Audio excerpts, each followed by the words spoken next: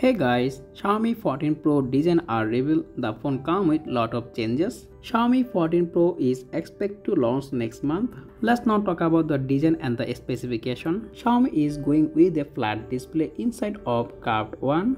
As expected, the phone comes with 6.6 inch AMOLED display with 2K resolution and 120Hz refresh rate. The flagship phone will be featuring a large rear camera module that will house 3 or 4 camera sensor, maybe 50 megapixel main sensor. The smartphone will most likely be powerful by the Snapdragon 8 Gen 3 chipset with up to 12GB of RAM and the upcoming flagship phone could be pack a 5000 mAh battery and it support 120 watt fast charging and 50 watt wireless charging so that's all about the Xiaomi 14 Pro design and specification. If you found this video informative, make sure hit the like button and also subscribe the channel for more content like this as always. Thanks for watching and I will be catching the next one. Take care. Allah Hafiz.